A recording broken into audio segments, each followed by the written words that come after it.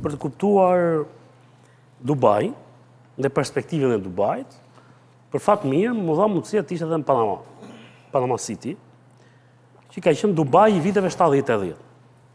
Vëndi ku u depozitua paraja e karteleve kolumbiane dhe karteleve meksikane.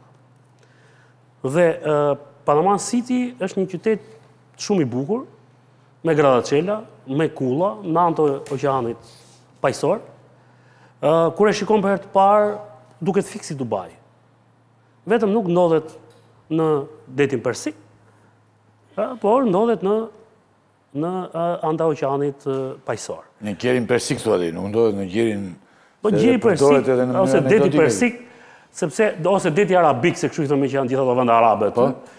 i cili është pjesë e oqeanit indian, fakt, është oqean tjetër. Por, çfarë ndodhi, çfarë ndodhi me, me, me uh, Panama City? Një moment, inter, më, interesat amerikane lëvizën, të Dubai. lëvizën, uh, amerikanët ekstraduan Noriegën, ja u morën gjithë paratë karteleve në Panama. Dhe sot në Panama ka ngelur ato gradaçelat dhe ajo infrastruktura që është ndërtuar në atë kohë. Dubai është Panama City, por i ri. Është është si modeli i telefonit, pra është iPhone 14.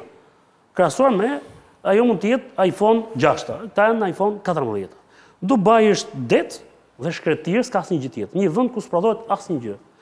Emiri i Abu Dhabit, pra Emirati i Abu Dhabit, në shtatë Emirate që janë të ndara shteti i Emirateve të Bashkuara, ka 94% të naftës. Pra, Dubai nuk ka as naftë.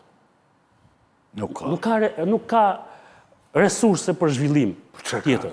Është një qytet që importonte çdo gjë. Po kur them çdo gjë, vinin në mëngjes që nga kontejnerët, kamionët, avionët që sillnin çdo gjë.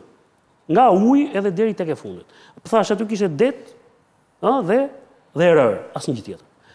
Dhe në 30 vitet e fundit, aty ka patur një investim të jashtëzakonshëm, para që pak a shumë dihet nga ka ardhur, është shumë e ngjashëm me me zhvillimin, po them të të Panamas, prandaj bëra atë po lidhje, sepse edhe në Panama shkoi paraja e narkotrafikut, e kokainës. Aty ka ardhur paraja e të korruptuarve më të mëdhenj të Azisë, të Europës, të Amerikës Latine dhe paraja që vjen nga bota e krimit të organizuar. Dhe ajo është krijuar si një lloj zone offshore, ku nuk të pyet njeri se çfarë, se ku i ke gjetur paratë, por aty vetëm përshtatu rregullave që ka Dubai, Dubai nuk të jep shtetësi, të bësh çfarë duash ti aty, të investosh sa të duash ti aty, Shtetësinë ta harrosh, nuk e merr kurrë. Po pse? Nuk ta jep. E kanë rregull, nuk e kanë dhënë për askënd atë, nuk është punë se japin thjesht për shqiptarët. Ë shqiptarët aty e kanë kthyer në një parajsë ë fiskale dhe penale, sepse nuk ekstradohesh nga aty. Deri tani vetëm Italia ka marrë Rafaelo, një nga bosët e ë Gomorës napolitane. Do ta ketë rëmbyer besoj. Në fakt u bë një marrëveshje sepse ai midis gjërave që kishte Rafaelo ishin dhe pikturat e Van Gogut. Dhe u, i kërkuan që të kthente pikturat që t'i jepnin një dënim minimal. Pra, kishin çfarë negocionin. Pra, Shqipëria ka tentuar deri tani në të gjitha rastet për të bërë ekstradime që andej dhe nuk ka mundur dot të ekstradojë. Askënd. Dhe këtë nuk është më në dorë Shqipërisë se aty nuk ka ekstraduar dot askush. Tentativën e fundit e bëri Belgjika për të ekstraduar një shtetas shqiptar, para dy javësh që unë isha atje dhe nuk arriti dot ta merrte sepse nuk pranoi Emirati i i Dubait ta ekstradonte. E para, e dyta. Dubai është lënë aty Pra është krijuar dhe është bërë ajo mbrekulli, duket si si si një sikur nuk je në tokë. Ëh. Mhm. Pra ti ndodhesh aty para një del menjëherë nga shkretira dhe hyn në një zonë dhe bën wow.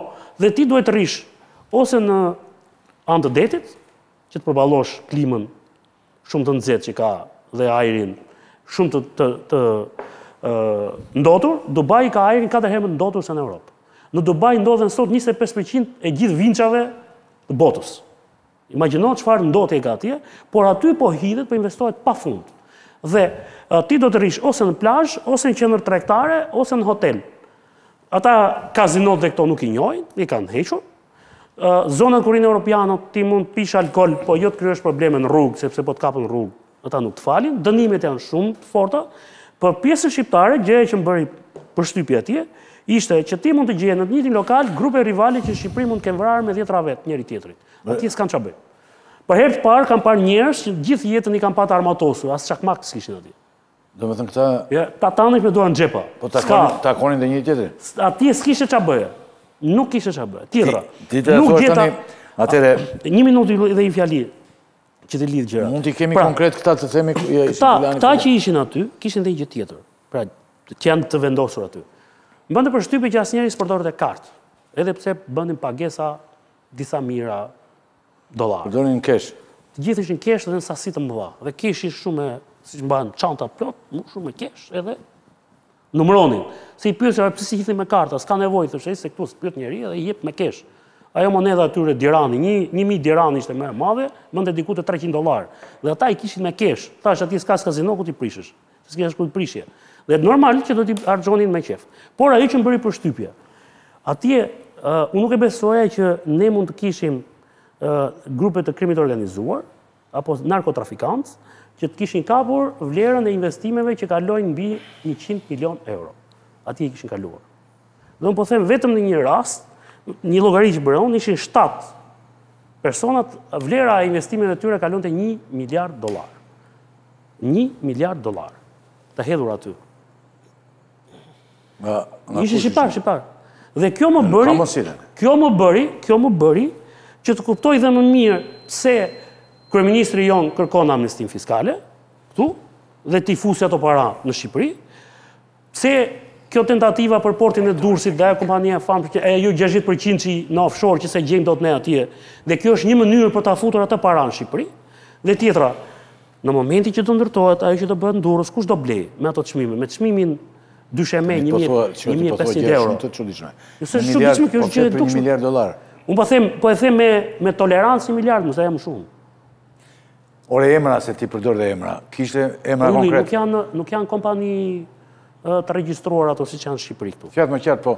Ata prandaj janë atje. Kush ishin? Kush ishin? Ata do t'i dëgjosh, do t'i dëgjosh në 10 vjet në dekadën e ardhshme. Ata janë njerëzit Sokol, ata që unë them gjithmonë që në krye janë ata që s'u përmendet emri. Ata nuk janë vrasës, domosdoshmërisht. Ata janë trafikantë. Ata kanë bërë trafik jo në Shqipëri, kanë bërë në botë, dhe ata punonin në tre kontinente. Dhe paratë i kanë çuar atje. Dhe të them dhe një fjali të fundit dhe këtu. Se, ia kam thënë dhe Saimirit në një bisedë të, të dy bashkë. Pra, gjëja që më tha njëri prej tyre në Ekuador dhe më bëri shumë përshtypje në Guayaquil. Ne, tha, sot na janë lënë dy mundësi. Ne kemi para, tha, po s'kemi ku t'i çojmë. Ose t'i çojmë në Dubai, që nuk të pyet ku i gjete këto para, po vetëm paguaj shtetit rregullisht, ose t'i sjellim në Shqipëri dhe t'jau japim oligarkëve shqiptarë. S'kemi rrugë tjetër. Por nëse do t'jau japim atyre, tha, është problemi që ata kontrollojnë policinë, prokurorinë dhe gjykatën. Ata një ditë të bukur mund të të sulin shtetin, tha, dhe të t'i marrin. Dhe ne nuk kemi mundësi tjetër, tha. Këto janë dy mundësitë që ne na ofrohen sot. Prandaj, ajo 7% që i kthejmë dhe njëherë, e amnistisë fiskale, që unë në fakt jam që ajo të bëhet, sepse ato para janë në qarkullim dhe ne nuk i shmangim dot. Kush thotë të kundërtën gënjen. Më mirë të jenë këtu thuaj se sa... Ojli, në qoftë se në Shqipëri paguhen 500.000 euro për të vra një njeri, Ka mundësi nga vijnë pesëqind mijë euro. Tani nuk jep një njeri që ka punuar gjithë jetën për të për të mbledhur pesëqind mijë euro kursime dhe t'i fali pesëqind mijë euro ë një tre alabakëve për t'i marrë jetën një kushdo qoftë ai kundërshtari i tij. Pra, në momentin që tek ne shkon vlera, të thashë edhe më parë, në Ekuador me 500 dollarë vrisnin prokurorin më të rëndësishëm. Në Shqipëri Ky nuk është çmimi më i lartë që përmenda unë, se ne kemi vrasje me, të, të, me pagesa shumë më të larta se kjo. Por në qoftë se ne kemi arritur në këtë nivel, do thotë që kjo para e zezë që është në qarkullim, këtë që e shpjegon Klodi me kullat dhe alarmin që ngre që kush ndërton kulla dhe si ka shku metri katror kaq lart në një vend që popullsia zvoglohet. Ha? Popullsia zvoglohet. Papunësia në këtë vend rritet. Rogat janë të ulta, atëherë kush ble këtu? Se ne praktikisht... Atëherë kalojmë...